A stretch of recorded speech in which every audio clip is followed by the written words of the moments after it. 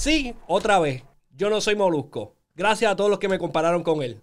No soy molusco. Repito por tercera vez, no soy molusco, pero sí me interesan las criptomonedas y por eso estoy aquí hoy en Zona Cripto de nuevo. Mi nombre es Joito, por si acaso.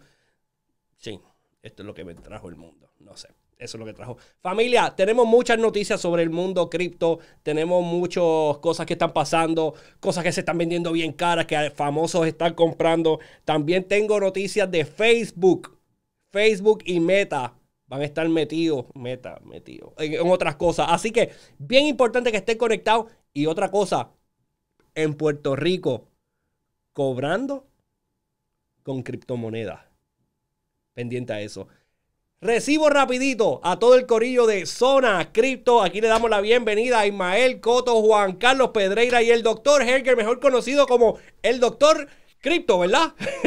Doctor Cripto, Doctor Cripto. Doctor Cripto. imagínate. ¿Qué está pasando, familia? ¿Están bien? Ya me apodaron. Estamos bien, estamos bien. Saludos. El, el, Doctor Cripto, mano, es que... Es yo, que yo, yo, tú eres medium, Yoito. Que, sí, sí, ahí están las camisas de Molusco, yo se las pido prestadas. y, y por eso ven que esta camisa me queda bien sueltecita. Gracias, Titi, por creer que todavía soy más flaco de la cuenta. Oye, pero hoy, antes de empezar, Doctor Cripto, tengo, tengo, que, tengo que vergar eso. Hay compañías ahora puertorriqueñas que están entrando a cobrar con, criptomonedas, eh, valga redundancia, pero veo que tú lo llevas haciendo ya, ya un año. Pues mira, yo empecé a aceptar criptomonedas en, precisamente en marzo 17 del año pasado. Este, yo empecé en cripto eh, de lleno en el 2018 pero no fue hasta el año pasado que lo incluí dentro de mi negocio gracias a Skyblock, ¿verdad? Que ya tenía esa tecnología, me ayudó a implementar un sistema para yo poder recibir este criptomonedas y de verdad ha sido un éxito porque hay mucha gente que aunque usted no lo crea, que quiere eh, usar sus criptomonedas para su diario vivir, ir a un médico, comprarse algo en una tienda, este, ahí estamos viendo ya otras compañías grandes, ¿verdad? En Puerto Rico que están tomando esa iniciativa, así que... De eso vamos a hablar, de eso está empezando. Ajá, de eso va a hablar Juan Carlos. Cuéntame algo. Oye, es, correcto. Hay, hay, una empresa de telecomunicaciones de nombre Aeronet que se convierte en la primera empresa acá en Puerto Rico en aceptar para pagar servicios de Internet utilizando Bitcoin. Algo importante, sé que hay mucho interés respecto a todo este mundo de cómo aceptar estas criptomonedas, qué utilidad tienen las criptos si no las puedo utilizar en las tiendas. Poco a poco están las empresas adquiriendo plataformas que permiten una de dos cosas, o aceptar esa criptomoneda y ese dinero le llega en criptomoneda a ese negocio, el negocio se puede quedar con las criptomonedas. Otro mecanismo que también utilizan es que esas criptomonedas automáticamente se convierten en dólares de los Estados Unidos y eso se le deposita en la cuenta de cheques de la compañía. Así que esos son los dos mecanismos. Poco a poco lo vamos a estar viendo con cada vez mayor frecuencia. Es que la cosa es que yo siempre veo que la gente, una de las preocupaciones más grandes es que dicen, diablo, si me pagan con cripto, ¿dónde yo voy a gastar esos chavos? ¿Cómo yo voy a pagar la luz? ¿Cómo yo voy a pagar el agua? ¿Cómo yo voy a pagar? Porque aquí yo puedo aceptar el cripto, pero si, nadie, si nadie acepta. Claro, ahí que va a estar la magia, pero yo digo, para que sepa, el, el gobernador de la Florida de Santis ya está trabajando en un proyecto de ley para pagar los impuestos a través de criptomonedas. Así que va a llegar el momento y es más pronto de lo que la gente se imagina. Oye, Ismael, espera, espera, espera, antes, antes de, antes de la noticia, espérate. Yo veo, ok, Tú ves el doctor y yo en unas politos, ok, la del doctor le queda más suelta que la mía, pero eso no tiene nada que ver. Juan Carlos anda con su camisa de botones, pero, pero, pero,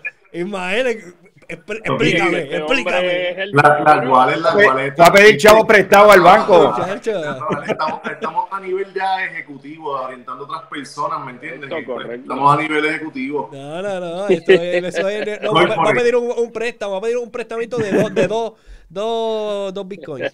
envíame, la dirección de la wallet. Envíame la dirección de la wallet. Oh, está bueno eso, está bueno. Siguiendo, Juan Carlos, cuéntame, esta semana, esto de las criptomonedas sigue, yo por lo menos, yo estoy pendiente por lo menos a mi, a mi Coinbase, a mi cosita por aquí, mi cosita por allá.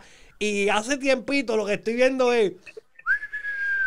Pero últimamente hizo como que... Uh, uh, uh, y subió un poquitito, así que... pues mira, Sí, ha, habido cosas esta semana. Una de ellas que yo creo que fue el catalítico para que Bitcoin se llevara arrastrado al resto de los altcoins es una noticia de que el ministro de Energía de Rusia señaló que está contemplando a raíz de las sanciones económicas donde no puedes comprar el combustible petróleo en Rusia con dólares de los Estados Unidos, aceptar Bitcoin como método de pago. Esto fue como un voto de confianza nuevamente al mundo de las criptomonedas. Al día que estamos grabando esto, que es viernes, está ya el mercado, ya llegó por fin a los 2 trillones de dólares. Recuerden que eh, a finales del año pasado alcanzó los 3 trillones de dólares. Y lo que estamos viendo, eh, para que tengan una idea, estamos viendo Bitcoin un 7% arriba si lo comparamos con la semana pasada, Ethereum en 12%, estamos viendo plataformas como Solana 20% arriba, incluso hasta el propio Shiba Inu con un 14% arriba. Así que las criptos en estos días está en ese movimiento. Ojalá esperemos que los próximos días se mantenga este mismo escenario. Eh, eh, Juan Carlos, baja un poquito tu micrófono antes de seguir. Baja, ah, pues un poquitito tu micrófono porque está calientito. Este, Ismael, cuéntame. Nada, esto tengo mi propio análisis. Esto sí son unos impulsos que estamos viendo en el mercado, ¿verdad? Eh, calentando todavía. Es posible que veamos unos precios menores si no vemos un Bitcoin sobrepasando por lo menos los 45 mil dólares esta semana, que el cierre es el, el domingo. Eh, y eh, lo que está sucediendo es que estamos viendo estos impulsos porque la gente está buscando rentabilidad eh, y estamos ahí bien cerquita, mira, 44.896 ahora mismo. Pero hasta que no veamos ese cierre semanal por encima de los 45 mil dólares que nos está dando realmente una señal de, de alza, de, que si el mercado va a continuar alcista, pudiéramos ver todavía eh, precios más bajos, llegando nuevamente a los 38 mil dólares. Estamos en esa zona de acumulación. Eh, recuerden que también lo que está diciendo el gobierno de Estados Unidos, que sí, vamos a aceptar blockchain, eh, Rusia sí, vamos a contemplar vender el gas en Bitcoin.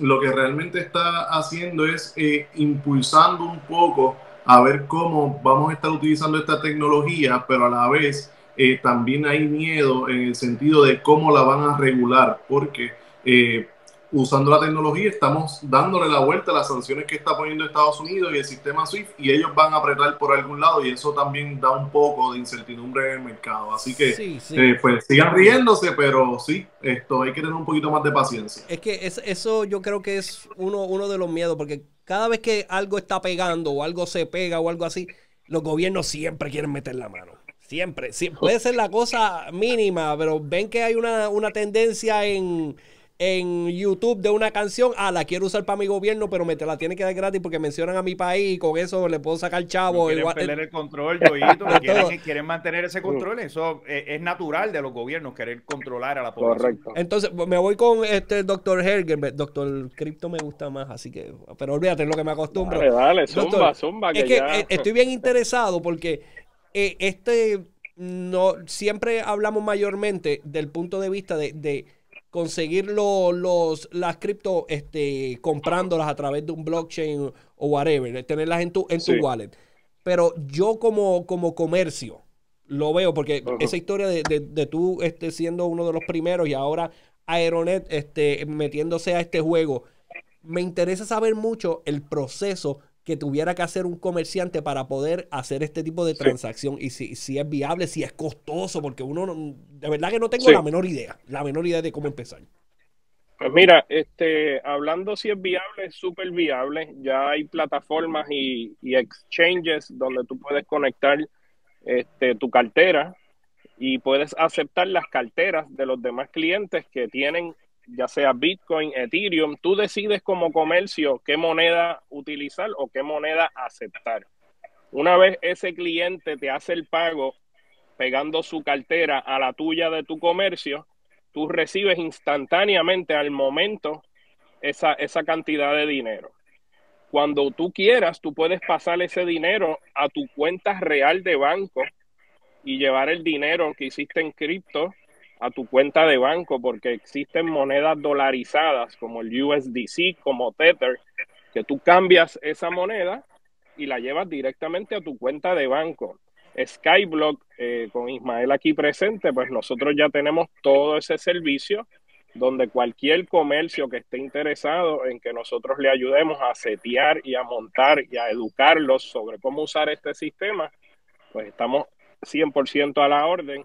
A mí me ha funcionado, como te digo, imagínate yo cobrar en Ethereum y que Ethereum esté a 2.800 y en dos días llegue a 3.200. Pues esa consulta que la cobré, por decir un número, en 200 dólares, después gané 500 dólares por la consulta, ¿me entiendes? Ok, te entiendo. Eso es lo que el comerciante tiene que ver también, que tú estás cobrando en una moneda que está en el mercado, que bien puede subir como también puede bajar, pero normalmente las monedas que tú vas a recibir, ¿verdad? Son monedas poderosas. son monedas que tienden a estar en alza. Ahora, ahora es que me crea una, una, duda grande que quiero que Juan Carlos, yo creo que este me puede explicar un poquito más. Eh, yo como comercio siempre voy a estar pendiente a, las monedas premium, dígase Bitcoin, Ethereum, pero sabemos que hay un montón de monedas y que todas tienen diferentes valores y eso. ¿Cómo una persona puede eh, decidir qué, moneda, qué moneda usar? Porque hay, hay, tantas, yo siempre, la mayoría se va a ir por Bitcoin e Ethereum, ¿y por qué las otras todavía van a estar disponibles? Hay, hay como que me confundo un poco. Porque... Bueno, por, eh, por lo menos hay, existen plataformas de aceptar estas criptomonedas que aceptan una multiplicidad de temas, no necesariamente Bitcoin o Ethereum. Aquí yo creo que el gran reto está en que algunas criptomonedas, por ejemplo, para darte el caso de Ethereum, son transacciones que pueden dilatar algunos segundos adicionales o tal vez a lo mejor un minuto en lo que se confirma esa transacción. Y todavía siento que en estos lugares donde las transacciones tienen que ser bien rápidas, pensemos un, una cadena de, comida rápida, de fast food, va a ser un tanto complicado hasta tanto y en cuanto no entre lo que es el, el Bitcoin Lightning Network, no llegue esa, esa, esa, ese upgrade que se espera que ocurra en Ethereum, que las transacciones pasen de la, con la misma rapidez que pasan a través de una plataforma como Visa o como Mastercard. En el caso de uno querer escoger, uno simplemente en esa billetera que uno tiene en el celular, uno selecciona, eh, cada billetera tiene una especie de dirección, así que uno escoge dentro del comercio qué tipo de moneda le vas a pasar como pago y ahí es que se realiza la transacción. Pero estamos todavía, aunque se puede hacer, todavía estamos en ese momento, pero Recuerden, como lo hemos hablado en otros podcasts anteriores, tenemos gigantes como Visa, Mastercard y American Express que están tratando de también insertarse en este mundo y yo estoy seguro que vamos a encontrar soluciones bien rápidas, bien eficientes y con bajo costo de transacción para que este mundo de comercio se pueda viabilizar utilizando criptomonedas. Eso es lo que yo digo, porque de verdad a, veces me... Y yo hago todas estas preguntas porque yo me imagino que el pequeño comerciante que está escuchando de criptomonedas por primera vez siempre se van a ir con el top, pero hay una gran variedad de criptomonedas que puede ser que nadie nos asegura, hablando a la, a, la clara, que en cualquier momento la mitad de ellas puede desaparecer. La mitad claro, pero claro. Eh, Joito, para que tengas una idea, y quisiera que los muchachos comentemos un poco sobre esto, tenemos una moneda que es Luna. Terra Luna está ahora en la posición número 8. Estamos hablando que en los pasados días ha crecido casi un 12% y algo interesante es lo que le llaman eh, moneda estable. Y una de las características que tiene es que en vez de estar pegged o pareado al dólar de los Estados Unidos, ellos están comenzando a hacerlo con Bitcoin. ¿Qué les parece eso? No, eh, eh, eh, eso está brutal y, y, Terra Luna es una de las próximas blockchain que va a seguir creciendo. el reto está, como bien dijiste, que estas transacciones sean instantáneas. Nosotros que tuvimos la oportunidad de estar en El Salvador haciendo comercio directamente con Bitcoin, se utiliza la red de Lightning Network eh, para hacerlo bastante rápido. Eh, prácticamente son bastante, como decirte, instantáneos. A lo mejor puedes tardarte 30 segundos, 40 segundos en recibir el dinero. Eh, pero la realidad es que sí, existen un montón de otras criptomonedas, pero la única que se puede categorizar como dinero es Bitcoin. Por eso es que nosotros recomendamos al comercio, ¿verdad? Que utilice Bitcoin. Hay un sinnúmero eh, de otras criptomonedas que también se están aceptando. Eh, siempre tienes que ver exactamente cómo funciona tu negocio, porque si tu negocio, ¿verdad? Las utilidades que tienes, esto, la parte del inventario, eh, todo eso, pues no te puedes dar el lujo de que tenga mucha fluctuación en la baja, porque va a perder en, en esa venta. Pero tienes que estar consciente de que sí, que puedes dolarizarlo eh, y eh, quedarte even, no tan solo aceptar eh, Bitcoin, pero también, como dice el doctor, puedes utilizar las monedas estables como tal. Lo de Terra Luna es importante porque si Terra Luna está utilizando el patrón Bitcoin, que es lo que entendemos que va a estar sucediendo con este proyecto y se va a estar estableciendo alrededor de otros organismos, incluso pienso yo gubernamentales, donde van a estar utilizando el Bitcoin como el apoyo para esa moneda, como lo estuvieron haciendo en un tiempo con el oro. Eh, y entonces, pues en este caso sería Bitcoin, pues porque lo volvemos y lo repetimos, mira, es una moneda que no la controla nadie, es divisible, es transferible, es transportable y es deflacionario, o sea, solamente van a haber 21 millones de tokens y lo que eso significa es que hay escasez. Tú compras, tú vendiste tu Bitcoin, ya tú no tienes Bitcoin ¿Me entiendes? Y eso, eso es lo que tienen que ver las personas y los comerciantes para empezar a establecer eh, la manera de modo de pago en su negocio.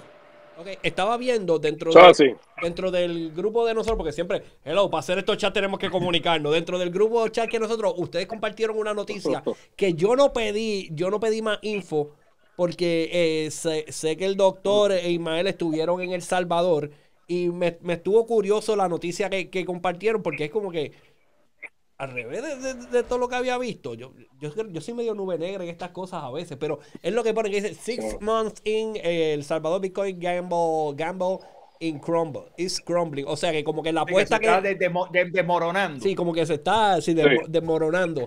que estos fueron, según leí por encima, son unos economistas que predicen esto. Este, no sé si esto es algo que está pasando ahora mismito o es algo que, se predice que va a pasar? Eh, doctor, dímelo. Mira, te voy a decir algo rapidito y voy a dejar a Ismael, que, que, es el duro en este tema.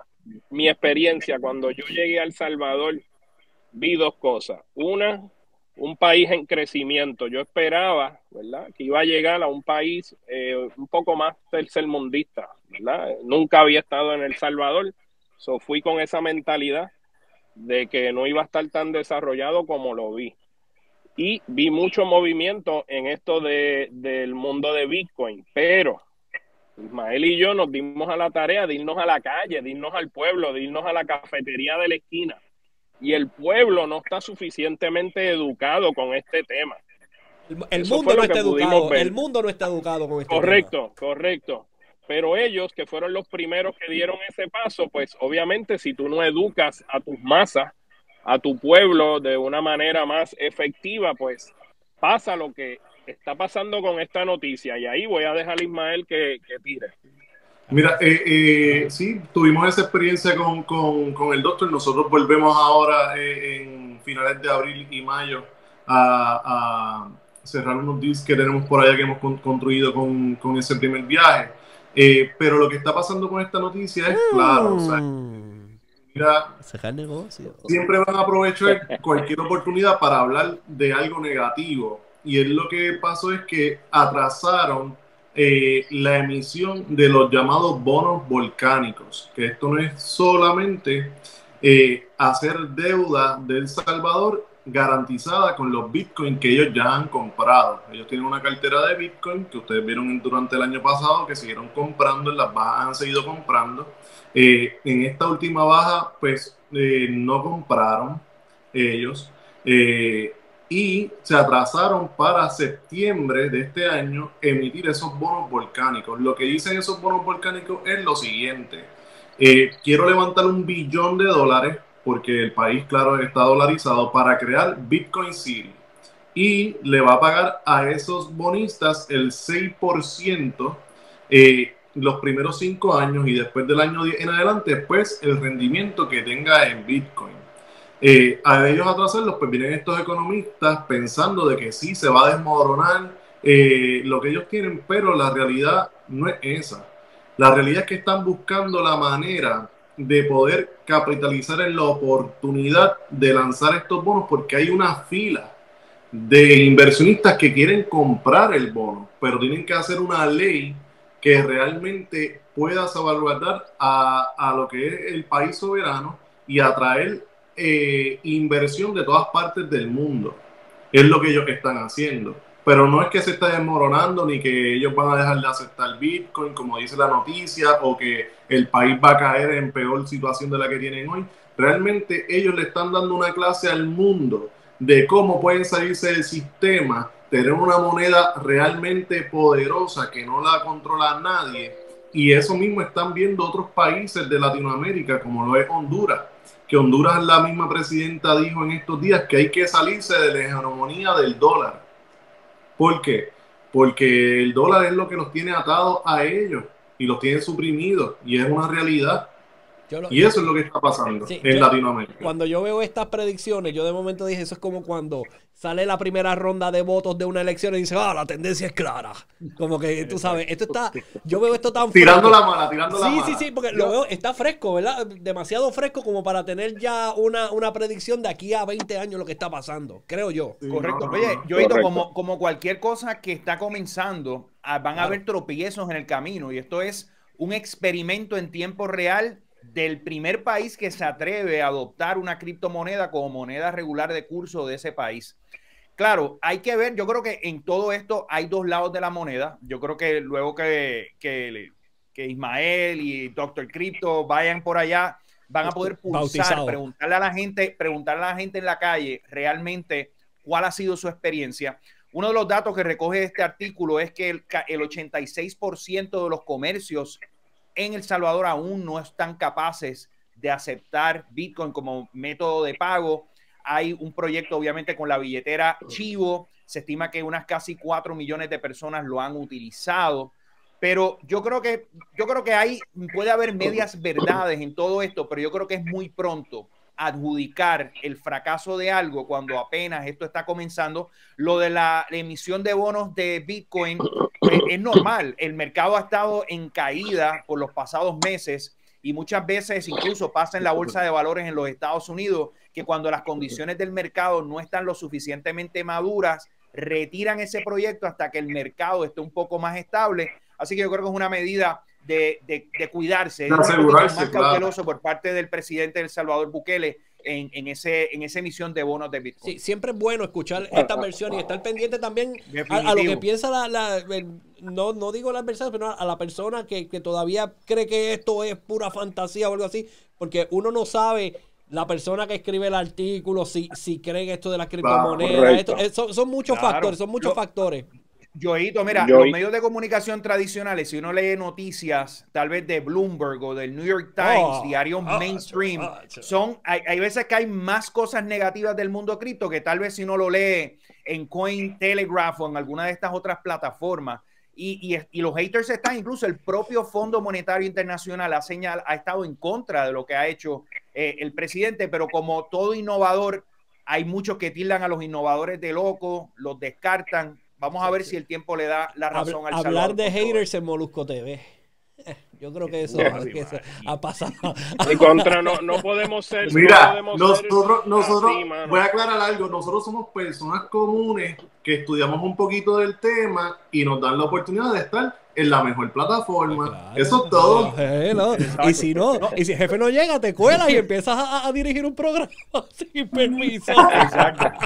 Oye, y, sabes algo, Yoito, que es importante a veces tener estas informaciones que son contradictorias a lo que uno está normalmente hablando, porque se crean estas burbujas de uno, lo que en inglés le llaman confirmation bias, que es estar escuchando la misma cosa, la misma cosa. Hay, que, hay que escuchar estos puntos constantes, un poco contrarios. Sí. Y nada, y, ver, y ver qué. Es, bien importante. Pues, esto, hello, familia.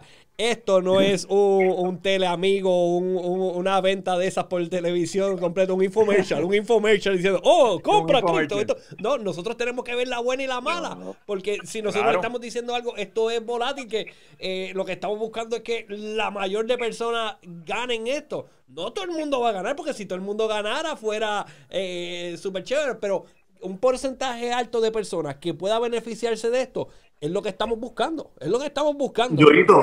y, y fíjate, todo el mundo puede ganar, porque todo el mundo puede ganar.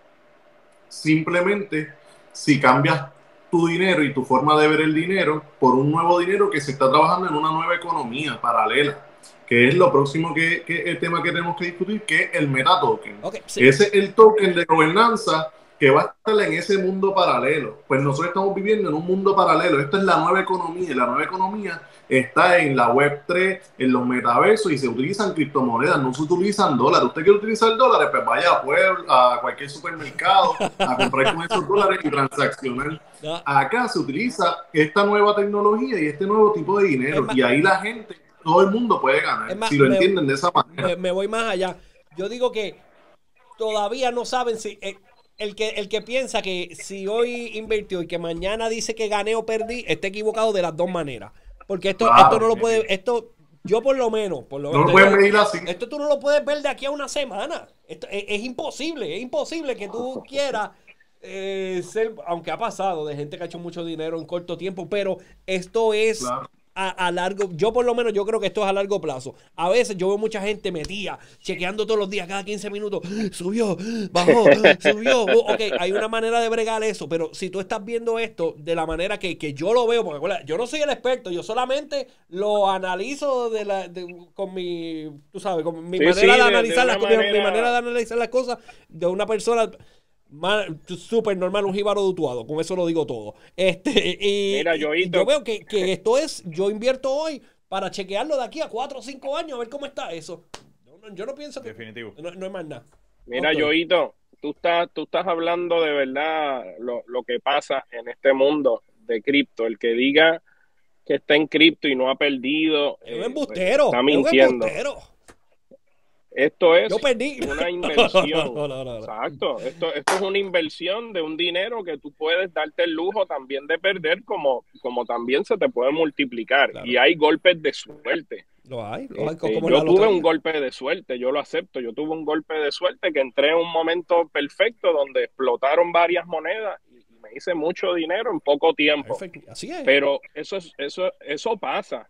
Pero el que entre a este mundo tiene que verlo como una inversión también a largo plazo. Pero dentro del ecosistema de cripto, y esto es importante porque aquí es donde entra la educación y compañías como, como Skyblock, dentro de ese ecosistema hay muchas maneras, Joito, de hacer dinero diario, ya sea tradeando, ya sea comprando y vendiendo NFT, ya sea poniendo tu dinero en lo que se conoce como el farming o el staking. Hay tantas maneras de hacer dinero diariamente separado de lo que es el mundo cripto como sube y baja, claro. que, es súper importante que la gente entienda eso. Sí, sí, sí. Que, que, hay varias maneras de tú meterte en este ecosistema y también hacer dinero diariamente. Ok, familia, como el tiempo va corriendo, quiero tocar, porque esta yo creo que es la noticia de todas las que hemos tocado, la más que yo hice como que, ok, esto era. Y fue el metatoken. Que Ismael lo mencionó, Juan Carlos lo vi en su Twitter que lo puso y tengo la nota por aquí porque fue que eh, la plataforma de Meta acaba de este, pedir trademark applications eh, para su logo, incluyendo crypto tokens, blockchain software, virtual currency exchanges, financial currency trading, digital crypto and virtual currencies. Así que eh, eso significa que van bien de lleno con esto. Le Facebook, con todo. Con todo. Facebook no se quita. Estamos hablando de Facebook con el nombre Meta. Que ellos eh, hace algunos años atrás estaban trabajando un proyecto de nombre Libra. Ahora el proyecto de monedas digitales, si no me equivoco, se llama Novi. Pero esta información es interesante porque, porque estamos viendo cómo el grupo de Facebook está empezando ya a armar el rompecabezas y asegurarse de tener un espacio eh, haciendo esa inscripción en el registro de, trademarks o de patentes en el gobierno de los Estados Unidos para tener, como bien señala y lo estamos viendo en pantalla, tener el, el software para realizar blockchain, para poder intercambiar criptomonedas, para poder hacer trading. Señores, estamos hablando que pudiese darle competencia a Facebook, a Coinbase, que es la principal plataforma eh, y también para intercambiar todos esos eh, digital goods o los NFTs. Así que son unos cuantos registros de patente. Con esto no significa que lo van a hacer, pero ya como señalamos en un podcast anterior, ya Mark Zuckerberg ha señalado que Instagram en los próximos meses va a tener funcionalidades de NFTs. No me sorprendería que Instagram sea un competidor de OpenSea, la plataforma de compra de NFTs, donde va a lo mejor poder comprar NFTs dentro de la plataforma de Instagram y también la integración de las billeteras de WhatsApp y de la plataforma de Facebook Messenger, que para muchos es una de esas principales aplicaciones eh, y que ya hay proyectos incluso en la India y en Brasil para poder hacer pagos a través de WhatsApp. Así que un paso en la dirección correcta eh, por parte de, de, nuestro pana Mark Zuckerberg. Ismael, dime algo de esto. duro. Mira, eh, eso es parte de lo que les le, dije ahorita. o sea, él cambia su nombre a Meta por la parte de metaverso. recuerden que estamos construyendo la Web 3. Esto es totalmente la Web 3 donde tú puedes eh, ver contenido, crear contenido y ahora ser dueño. Puede ser dueño de activos digitales. Y dentro de ese mundo de meta y los otros metaversos que existen, pues tienes que conectar tu wallet, tienes que tener el intercambio de criptomonedas, porque en ese eh, mundo pues ya no se utilizan dólares o a lo mejor no quieren cripto, a lo mejor quieren tu Bitcoin por el meta token. Eh, y ese va a ser el token de gobernanza ahí. Y yo pienso que por ahí es que se está dirigiendo. Eh, y además de eso, también podemos ver que, que los Oculus Quest, los, los, dos, vendieron el año pasado más que Xbox. O sea que tenemos 25 millones ya de usuarios. O sea, ¿dónde está viviendo la gente? Estamos viviendo en dos mundos. O sea, pues por eso es que le digo lo que les dije ahorita. Tenés que también tener dólares, pero también tienes que vivir en este nuevo mundo y tener tus criptomonedas.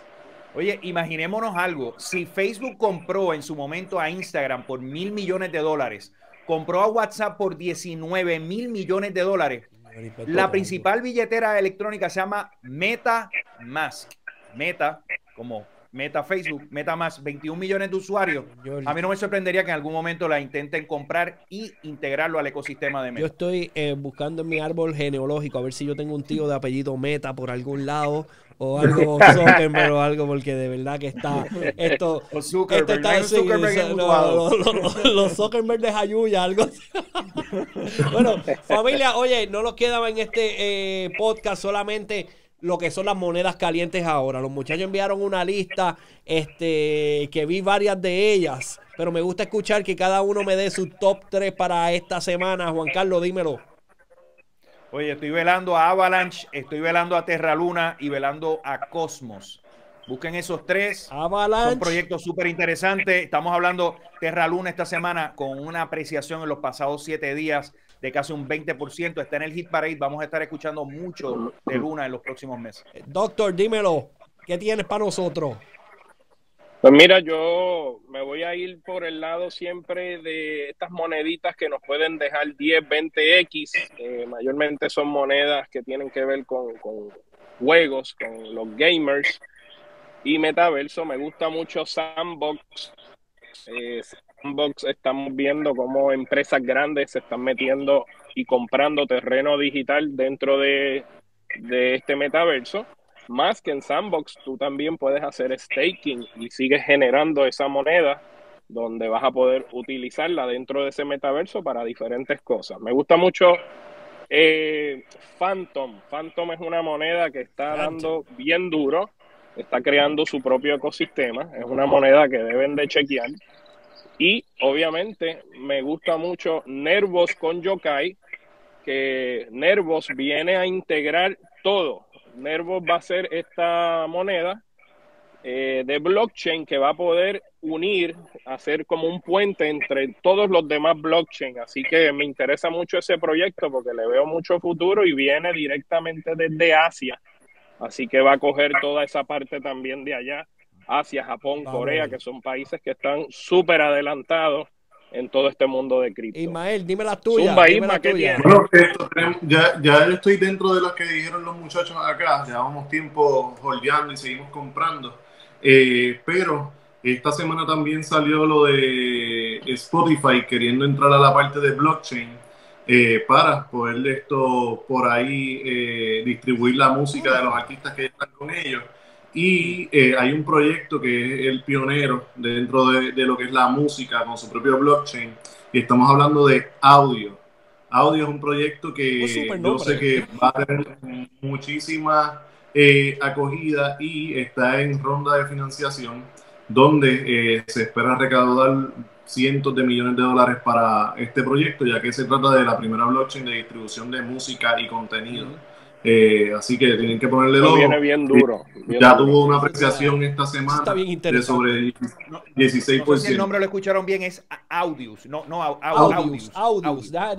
consigo Así, la, así pueden conseguir y ver, conocer un poco del proyecto. pero ahí. Coincido, coincido con Ismael, un proyecto Ay, duro. ¿Dónde está esto? Voy a- voy a Oye, buscarla por aquí. Este Isma, Isma, junto con Audius, este merece, merece que mencionemos a Algo, Algorand. Algorand. Algorand también está entrando en el mundo de la música y esas dos compañías vienen bien duro este, con todo lo que tiene que ver la música digital. Esta- esta- ahí, esta es- Audius. Puesto Lo que 112. pasa es que la, la, la Virtual misma. Que dice audio, que está la, la- las siglas son audio, como lo vas a encontrar ahora mismo en los exchanges, es audio. Sí, si lo ves aquí, Lo dice, la parece audios, pero la letra Audio. dice audio.